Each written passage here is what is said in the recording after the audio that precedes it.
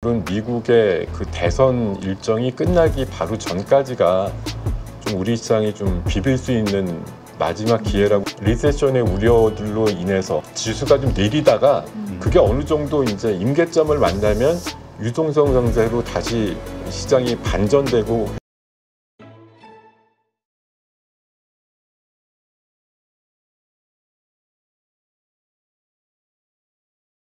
그러면은 이제 지금 현재 증시에 영향을 줄 수 있는 변수는 또 뭐라고 생각을 하세요? 네. 아무래도 가장 큰 변수는 우리 시장이 뭐 웃, 아, 약간 우- 뭐 웃겨주기도 하고 울려주기도 하고 기대도 됐다가 실망도 만드는 그런 이슈가 아마 금투세와 관련된 이슈가 아닌가 싶은데 음, 뭐 지난 그 주중에 있었던 예, 야당 쪽의 그 금투세 토론회를 갖고서 어떻게 보면 저는 개인적으로 약간 전화위복이 되지 않았나 그런 음. 생각을 해보게 됩니다. 왜냐하면 뭐 몇 가지 그 말 실수라든가 의도가 좀 섞인 그런 말들로 인해서 여론이 급격하게 한쪽으로 몰리게 되다 보니까 사실 그 뒤에 굉장히 눈치 없이 한 달 내에 결론 낸다 이렇게 얘기를 하면서 실소를 만들었는데 이게 너무 따가운 여론을 받다 보니까 어 빠르면 다- 이번 주 중에 네. 그러니까 다음 돌아오는 주 중에 의원총회에서 결론을 내릴 수도 있다 이렇게 지금 음, 급선회하고 있는 부분 하나 있고요. 네. 그리고 또 한 가지는 이제 밸류업 관련된 지수 쪽 그 종목들 구성과 관련해서도 사실 얘기가 그쵸. 많아요. 이게 뭐 코스닥 그러니까 코스피 200과 코스닥 150의 축소판인 음, 거냐 이런 이제 얘기들이 워낙 많았기 때문에 빠르면 뭐 연내에 또 종목 교체에 대한 얘기들이 음. 나오면 한번 음, 확좀 바뀔 수 있다. 음. 이런 좀 기대감이 나오는 게 하나의 좀 변수인 것 같고요. 그리고 이제 10월 첫 주 조금 지나면 삼성전자의 또 3분기 실적이 나오겠죠. 네. 어, 정말 얼마 정도가 나올지 원래는 한 두 달 전에 회의론 얘기가 안 나올 때만 해도 한 13조 정도 음. 내외를 봤었는데 지금은 한 1조 이상 좀 줄어 있는 상태긴 한데요. 그래도 한 10조 이상은 맞춰 줄지 여부가 굉장히 좀 관심사일 것 같고 또 한 가지는 뭐 제가 이제 뭐 개별적으로 좀 관심을 갖는 섹터인데 그 삼성의 이제 신사업 중에 하나가 로봇 쪽인데요. 그 보피카 관련된 웨어러블 로봇 관련된 그 어, 그 얘기가 빠르면 10월 초에서 중순 정도면 정말 시중에 나올 수 있는 가능성 그 그것들을 체험하고 시범을 보일 수 있는 그 인력을 뽑는 공고가 났거든요. 어. 그래서 음.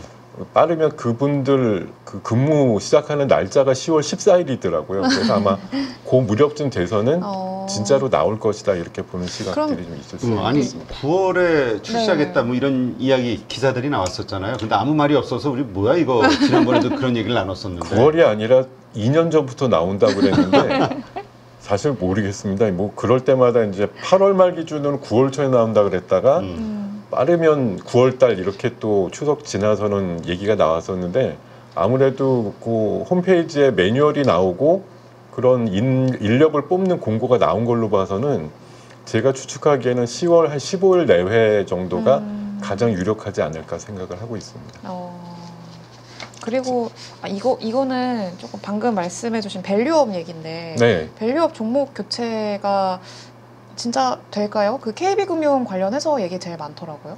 그렇죠. 뭐 제일 열심히 한 네. value-up에 노력하는 회사들이 왜 이렇게 달궈 빠지고 어, 우리만의 표현법으로 치면 이렇게 음. 말도 안 되는 회사들이 그쵸. 여러 개가 들어갔느냐 뭐 이런 얘기들이 워낙 많아서요. 아마 이런 지적을 물론 뭐 얼마 전에 변명하는 그런 뭐 설명에도 일, 일부 있긴 있었지만 네. 압박이 워낙 대단하기 때문에 어, 금방 바꿀 걸로 생각이 음. 들고 아마 제 생각에는 뭐, 교, 뭐 교체할 가능성도 있다고 였네. 네, 충분히 바뀌어야 될 겁니다. 이게 음. 안 바뀌면 왜냐하면 적어도 11월 달 예정돼 있는 ETF가 나오기 네. 전까지는 바꿔줘야 되겠죠. 그쵸. 왜냐하면 지금 이, 이 정도 구성이라고 하면 ETF에서 돈이 안 들어올 음. 거고 이 지수를 추정해서 어느 기관에서 이걸 음, 매수를 하거나 이러겠어요. 안 아니. 저희가 그 설문조사를 한번 해봤는데 네. 한 지금 한 2,200분 정도가 현재까지 투표를 하셨는데 네. 지수 ETF가 나오면 투자할 의향이 있습니까? 그랬더니 살 거야라고 대답하신 분이 8%밖에 안 돼요. 아, 너무 좀 정확한 해안을 갖고 계시지 않나 생각이 들고요. 네. 어, 요새 왜 이렇게 웃겨주시는지 모르겠지만 활질들을 너무 잘하시는 것 같아요. 지금 그래도 여의도 또, 쪽에 있으신 예, 분들이. 빠른 또 경각심을 갖고 고쳐주신다고 하면 또 음. 그거에 맞춰서 음. 좋은 흐름을 또 반전시킬 수 있는 역할이 될 수 있지 않을까. 어떻게 보면 이게 그 여론을 환기시키고 좀 집중시키는 효과도 있어요. 뭐 무난하게 나오면 뭐 별로 관심이 없었을 수 있는데 워낙 이상하게 나오니까 관심도가 확 커지지 않았나 그런 생각 들고요. 음. 아까 그 변수 이야기에서 마지막으로 제가 이제 8월 달, 9월 달 계속 이제 미국의 ISM 제조업 지수 갖고 맨날 시장이 뭐 좀 저조한 흐름을 가졌던 원초 그 동력이 됐던 지표들인데 이게 또 10월 한 1일쯤에 또 예정이 돼 있거든요. 네. 이거 갖고 너무 놀라시지 않았으면 좋겠다. 어차피 음. 그 굴곡이나 사이클의 변동성은 월마다 줄어들 것이다 이렇게 보시면 음. 좋을 것 같고요.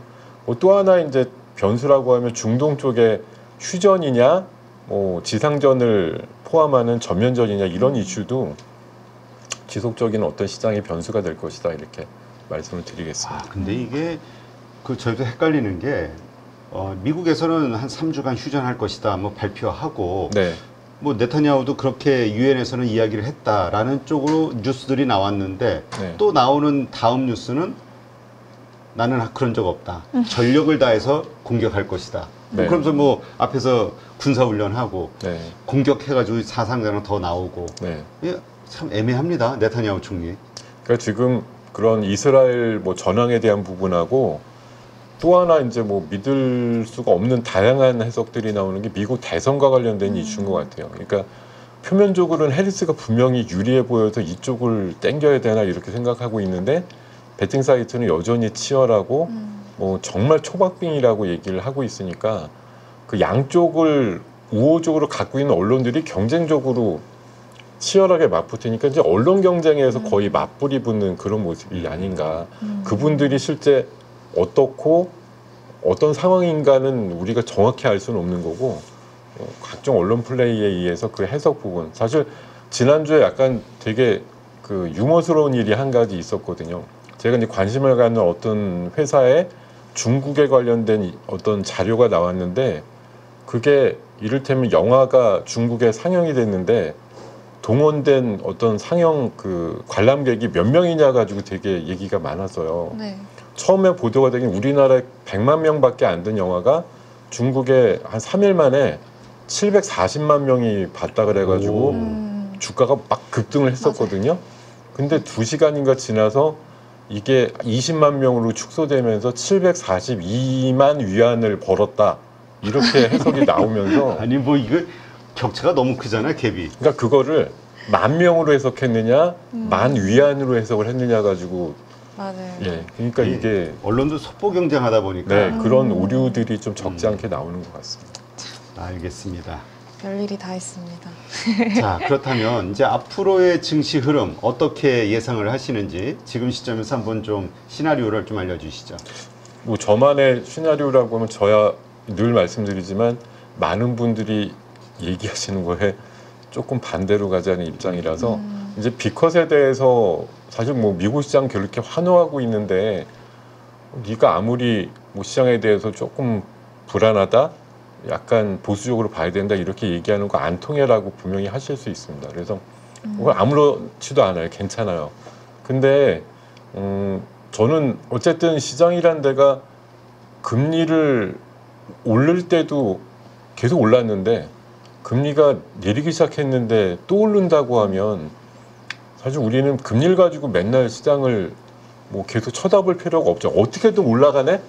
이런 세상이 돼버렸다고 하면 음. 금리는 완전히 어떤 시장을 예측하는 데 있어가지고 변수로서의 활용 가치가 거의 없는 거 아니냐 그런 생각이 드는데 전 그래서 아까 이제 말씀을 전반부에 조금 드리긴 했습니다만 막 반도체를 보든 어떤 업종을 보든 간에 저는 개인적으로는 미국의 그 대선 일정이 끝나기 바로 전까지가 좀 우리 시장이 좀 비빌 수 있는 마지막 기회라고 생각이 들고요. 누가 되더라도 대선이 끝나고 나서는 조금 풀어질 것 같아요. 시장이 이제 와야 된다. 어, 누가 먼저든 좀 치고 나갈 것이다. 그 치고 나간다라는 게 지수를 위쪽으로 끌고 나가기 위해서 노력하는 이런 개념보다도 먼저 시장을 조금 exit하는 그런 움직임들이 나올 수 있다. 왜냐하면 어떻게든 시장 고공권으로 계속 흘렀기 때문에 여기에서 더 위로 얼마나 갈까를 생각하기보다는 반대 포지션으로 돈을 벌 수 있을 것 같은데 이런 생각을 하는 사람들이 더 많을 것 같거든요. 그래서 저는 지금은 별로 없죠. 근데 그 종국에 가서는 그런 상황들이 만들어질 것 같아서 저는 뭐 매주 물론 어- 얼굴은 어떻게든 뵙겠지만 한 달 정도 안에 어떤 단기 승부를 보시고 어, 10월 한 중순 넘어가고서는 약간 보수적인 관점을 좀 갖고 가시자는 말씀을 드리고 싶은 게요. 현금 비중을 좀 늘리자. 제가 이게 금리 인하 사이클 때 물론 이제 과거가 다 맞지는 않는다는 결론이 있지만 이 그래프를 한번 보여드리고 싶은 것이 이게 이제 70년대에서 80년대이기 때문에 좀 되게 오래된 음. 이제 그 그래프긴 해요. 저 그 위에 쪽은 이제 금리가 오르고 내리는 방향성을 나타낸 그래프고 아래쪽은 이제 그거에 맞춰 가지고 다우존스 지수가 어떻게 움직였느냐의 상황인데 저걸 그냥 이렇게 큰 그림으로 보시게 되면 저 회색 어, 막대 그래프가 지나는 구간이 금리 인하 구간이라서 대충 딱 따져 보면은 금리 인하기에는 시장이 많이 올랐네라는 걸 느끼시게 돼요. 네. 딱 보시면 그렇게 나오는데 약간 이렇게 가운데 이렇게 조금 집중해서 좀 보시면 이렇게 그 마우스로 좀 이렇게 화살표를 좀 보여주면서 저는 이게 이게 의외로 이게 IT 칩니다. 게으르신 것 같은데. 예, 지금 좀 보강할 부분인데 조금 자세하게 여러분들도 좀 가까이 한번 들여다 보시면 저희가 가면 되죠, 저희가. 제가 초반- 이렇게 얼굴을 초반에는. 금리 인하 초기에는 항상 내렸다는 얘기예요. 음. 내렸다 올라. 저 밑에다가 제가 그래서 한마디 써놨잖아요. 내렸다 올랐다. 예. 음. 그냥 바로. 그러니까 근데 지금은 어 바로 오르잖아 이렇게 생각하실 수 있거든요. 네. 미국이 금리 내리고 어, 제대로 내린 날이 없잖아요. 계속 올라가기만 하지. 뭐 저는 내리지 않으니까 과거에 저 그래프조차도 new normal에서는 안 먹히는 거 아니야 이런 생각 하실 수 있는데 저는 이게 지금 특수한 상황. 그러니까 미국이 대선 특수 상황이기 때문에 안 내리고 버틴다라고 보는 거고 음. 결국은 금리나 초기에는 recession의 우려들로 인해서 아니면 recession이 실제 좀 시작이 되면서 그, 어, 지수가 좀 내리다가 음. 그게 어느 정도 이제 임계점을 만나면 유동성 상태로 다시 시장이 반전되고 회복되고 큰 상승을 하는 지금 많은 분들이 금리 인하기에 외치는 공통적인 그 외침이 하나 있, 있더라고요. 제가 어, 저도 유튜브 많이 참고해서 보니까 이렇게 음. 보면은 뭐 이제 이제 큰 일만 남았다. 음. 우리 드디어 이제 돈을 벌 수 있는 시기가 온다. 막 이렇게 음. 많이들 얘기하시는데 그거 잠깐 중간에 들어보면 잠깐의 폭락기가 있을 때 우리 정신 차리면 돈 버는다 이게 핵심이에요. 음. 따지고 보면. 근데 결론은 개인들께서 많이 하실 수 있는 방법이나 실제 하는 거는 내린다 그래서 이걸 내릴 것 같아서 팔거나 이러시지 못하거나 안 하시고 어떻게든 무던히 갖고 있으면 금리 인하기가 몇 년은 계속될 거니까 갖고 있으면 장기적으로 굉장히 붕업이 되기 때문에 결론적으로는 내 자산이 불어날 거야. 이렇게 생각하면서 계속 지키겠다라고 아마 결론 내리실 텐데 저는 초기에 분명히 지난번에 뭐그 통계치도 보여드렸지만 6개월에서 1년 정도는 충분히 내리는 기간이 있기 때문에 저는 조심을 하시는 요 구간에 굳이 이슬비나 소낙비를 맞으실 이유가 있느냐라고 좀 반문을 드리고 싶은 거거든요. 그래서 이것도 많이 맞으면 아프다. 음. 음. 그리고 뭐 옷이 젖는다 이렇게 생각을 해서 뭐 이런 이제 마이크로한 대응이 꼭 필요하냐 뭐 할 수 있느냐 이거에 대해서는 각자의 저 취향과 능력치가 좀 다르시겠지만 저는 피할 수 있으면 피했다가 다시 한번 음. 참전하시는 게 좋겠다 이런 말씀 좀 드리고 싶습니다. 우리 김동엽 대표님도 실제로 뭐 여러 가지로 운영을 하고 계시니까 그렇게 네. 실행을 하실 생각이신 거고요. 근데 저는 지금 말씀을 드렸으니까 빼도 박도 못하죠. 그렇게 하려고요. 진짜도 음. 저는 10월 한 중순 정도 넘어가면은 굉장히 많이 줄였다가 음. 이렇게 이제 말씀드린 요 센텐스가 사실 제 이 순서의 제목이 되지 않겠습니까? 이걸로 우리 PD 제목으로 갑시다. 10월 20일께 확 줄일 거예요. 뭐 이렇게 예. 아, 다 적어주셨네. 예. 이제 이런 센스까지 또 발동이 됩니다. 이렇게 아. 하고 나서 네. 뭐 예상이 틀리면 이제 엄청나게 야 장도 계속 좋은데 왜 우리는 현금이 7, 80%지 뭐 이런 얘기 음. 들으실 수도 있겠지만 어, 저는 하여튼 제 소신대로 이번에 일본 총리 되신 분하고 좀 비슷한 성향대로 이렇게 좀 밀고 나가보려고 생각하고 있습니다. 근데 다만 네. 10월 중순까지는 괜찮다. 그러니까 음. 마음껏 좀 플레이 하시는데 아, 발안 쪽은 좀 출입문에다 걸쳐 놓으시면서 하실 생각은 하셔라. 이렇게 좀 말씀드리겠습니다. 근데 미국은 지금까지 잘 갔잖아요. 계속 네. 신고가 경신하고 있고. 근데 우리 증시는 그거랑 좀 커플링 됐다고 보기에는 조금 그렇잖아요. 근데 그래도 그러니까 거- 지수가 같이- 안 가고 하니까 당연히 커플링도 안 된 것 같다는 생각이 들 수 있고요. 뭐 당연히 그렇죠. 지금 반도체 음, 아까도 말씀드렸지만 두세 달로 보면 유- 뭐 반토막 난 녀석들이 수두룩하고 지금 잘 가던 바이오도 꺾이고 뭐 전력 인프라라든가 조선주도 약간 조정 모드로 가고 있어서 이게 과연 반등을 하는 건가 싶긴 했을 거라고 생각 드는데요. 어떻게 보면 삼성전자라든가 뭐 초대형주, 그러니까 지수 극한의 어떤 뭐 비중을 갖고 있는 그런 초대형주들의 움직임 때문에 우리가 지수가 굉장히 안 간 것처럼 음. 보이는 것 뿐이지 또 52주 신고가라든가 아니면 뭐 3개월, 6개월 신고가를 보면 또 굉장히 랠리를 보이거나 바닥권에서 도는 종목들이 있기 때문에 음, 플레이 하시는 데는 그렇게 어렵지는 않으실 거라고 음. 보고요. 오늘도 지수가 내리긴 했어도 또 거의 등합 비율은 뭐 반반 정도 흐름으로 나왔기 때문에 이건 이제 내가 어떻게 운용을 잘 가는 쪽을 선택해서 하느냐의 문제인 것 같아요. 음, 그렇다면 지금 어쨌든 모건 스탠리의 그 반도체 겨울론 이것 음. 때문에 어려워진 시장 그런데도 마이크론에서는 실적 발표하면서 아니 우리 좋아 이거에 대한 또 기대감으로 떠오르는 시장 이게 지금 서로 상충이 되는데 어떻게 앞으로 이 이, 이 뭐라 그럴까 이격이 어떻게 해소가 될까요? 그러니까 이게 음 저도 아주 얕은 수준의 뭐 공부라면 공부밖에 못해서 그렇지만 모건 스탠리의 그 최근 5년 동안의 그런 반도체론에 대한 궤적을 보면 결론을 내린 건 1년 정도 빨리 얘기한다라는 거거든요. 이- 얘네들이 음, 좋고 안 좋기 바로 전에. 네. 그러니까 바로 고점이 뭐 진짜 다음 달이면 이번 달 정도에 얘기해 주면 제일 좋을 것 같잖아요. 근데 그게 아니고 내년 말쯤에 나쁠 거를 지금 얘기해 주니까 음. 주가가 비리 부러지는 그런 현상들이 나오는데 과거에 한 두세 번 그런 것 같습니다. 음, 좋아질 때도 좋아진다고 얘기를 해요.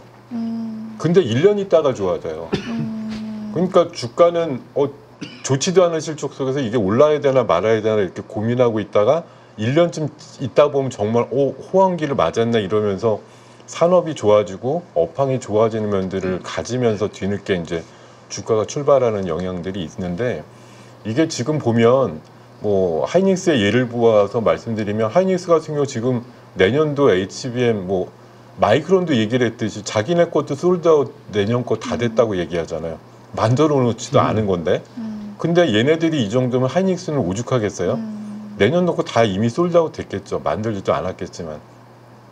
내년도의 실적에 대한 변동성은 생각보다 많지 않을 거라는 거죠. 적어도 상반기까지는. 그러니까 우리는 모건스탠리가 저렇게 주장을 한 건 이미 이번 8월에서 9월 넘어갈 때 주장을 해놓은 건데 이 데이터는 실제 제가 봐서는 내년 이맘때 이후쯤에 나올 데이터거든요. 제가 봐서. 음, 그러니까 내년 상반기까지는 실적이 여- 무난히 좋지만 이걸 가지고 계속 갈등을 하는 거예요. 하반기엔 정말 안 좋아질 건데 지금을 땡겨서 주가를 올려놓는 게 맞을까 이런 고민들을 하게 될 것 같은데 아마 그 안에서 중간 정도의 타협점을 가지게 된다고 하면 하이닉스는 제 생각엔 주가 흐름이 최근에 24만 원대까지 갔다가 음, 무려 10만 원이 부러졌었는데요. 네. 뭐 제가 보기에는 20만 원 정도 내외 수준에서 그러니까 음. 정고점을 넘기는 어렵다. 왜냐하면 1년 있다가 안 좋아진다는 걸 알기 때문에 음, 그 중간에 막 개인기를 부려서 25, 6만 원을 올려 놓고 싶은 사람들이 별로 없을 것 같거든요. 다만 많이 부러졌는데 이건 말도 안 되기 때문에 14에서 20 정도 이렇게 제가 뭐 숫자로 찍어드린다고 그대로 가는 건 아니지만 부러진 거의 반 정도 보면 19에서 20 정도 사이쯤에서의 네. 변동성은 오가지 않을까 음. 그게 아마 내년도 상반기까지의 흐름으로는 가능하지 않을까 이렇게 생각하고 음. 있습니다. 네. 그렇군요. 그러면은 지금 그래도 좀 걱정 많이 하고 계시는 섹터 중에 하나가 또 바이오 이기도 한데 바이오를 바이오는 걱정하신다고요? 아, 그러니까 또 예. 단기적으로 이제 네. 왜또 이번 주에는 살짝 또 꺾이는 그런 모습들이 보였고 뭐 삼바도 한 6% 빠졌었기도 했고 이러니까 네. 어 이러면은 또 바이오 쪽에서 수급도 빠져나가서 또 이제 본격적으로 좀 꺾이는 거 아니냐 이런 걱정을 하시는 분들도 꽤 있으시더라고요 일반 투자자분들 중에서는 네 요거에 대해서는 어떻게 생각하세요? 음, 2, 3초 뜸들이는 게 연기입니다 이게. 네. 왜냐면 정말 고민하는 못하십니다. 것처럼 정말 못하십니다. 예? 티나요. 티나요? 너무 티납니다. 어, 이거 굉장히 고민한다는 뜻인데. 그 저는 여러분들한테 진짜 말씀드리고 싶은 건 진짜 고민이 되시면 그대로 좀 해주시면 어떨까 하는 생각을 가져요. 아, 고민이 된다면 좀왜 줄이자. 고민만 하실까요? 음. 어, 고민이 되고 걱정이 되시는데 내 포션을 왜 바꾸지 않으시는 거죠? 음. 그걸 무- 물론 고민이 되니까 이런 우리 훌륭한 파리로 채널을 통해서 계속 탐독을 해가지고 그 답을 얻겠어라고 하시지만 많은 분들이 분명히 알람을 주실 거고 많이 올랐으니까 조심하세요 이렇게 얘기를 할 텐데 조심하세요라는 게 그냥 내 주식 가만히 갖고 잘 보존하고 계세요 이건 아닐 거 아니에요. 사실 이게 반도체도 얼마 전에 좋아요 좋아요 이렇게 많이 7, 8월까지는 계속 얘기를 했고 하반기에도 계속 좋고 당연히 좋습니다. 음. 실적은 내년 상반기까지도 계속 좋은데 이 이상한 M이 안 좋다고 자꾸 얘기를 해가지고 주가가 그냥 팍 부러지는 상황이 음. 나오잖아요.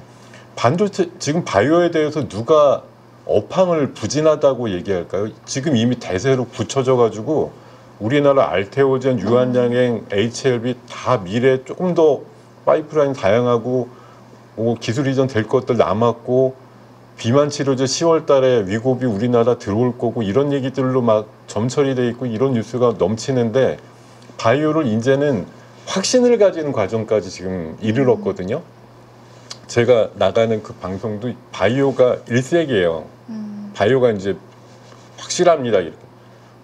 저는 그럴 때가 거의 고점이라고 보는 거예요. 음. 네, 단기적으로. 그래서 저는 줄이실 요양이거나 걱정이 조금 된다 싶으시면 그대로 좀 응해 주시는 게 맞다 이런 네. 생각을 좀 음. 가지고요. 더 드릴 시간은 없겠죠. 음. 네.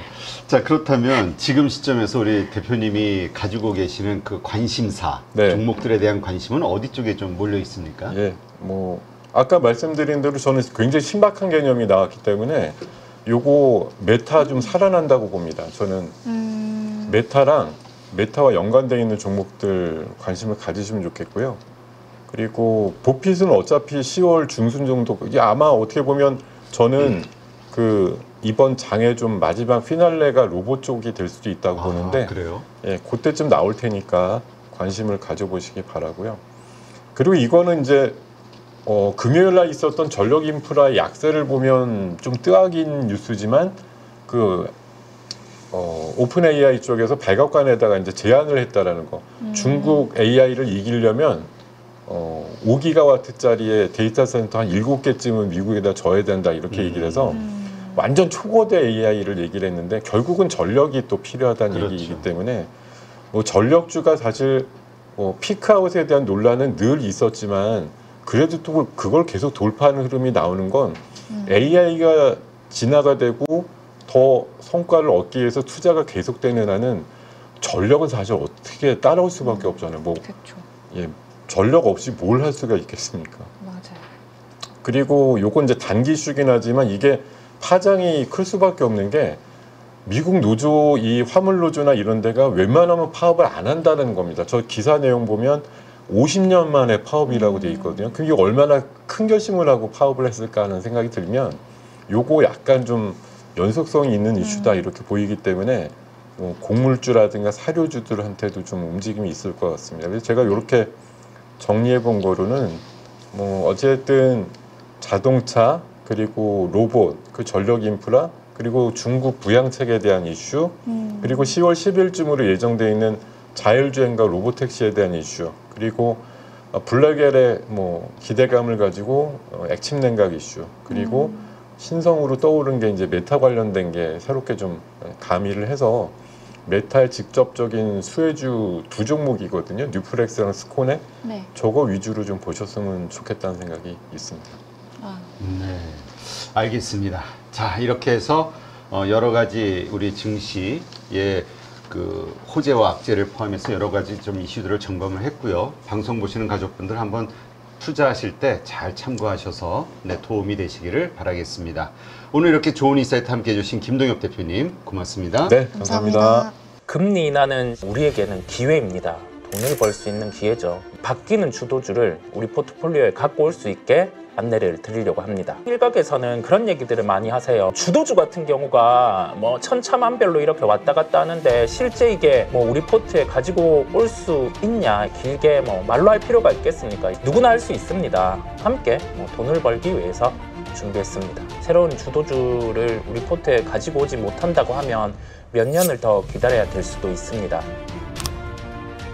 돈을 벌기 위해서 필요한 기초 VOD 강의를 어, 진행을 할 거고요. 최근에 시장 변동성이 큽니다. 그 안에서 오늘의 전략이 내일의 전략이 바뀌는 경우가 많기 때문에 주 2회 라이브를 통해서 지금 변화되는 시장에서 바로 수익을 볼 수 있게 진행을 할 예정이고요. 여태까지 제가 보여줬던 결과물이 담겨 있기 때문에 후회하지 않으실 거고 저와 함께라면 뭐 충분히 가능하다는 말씀을 드립니다.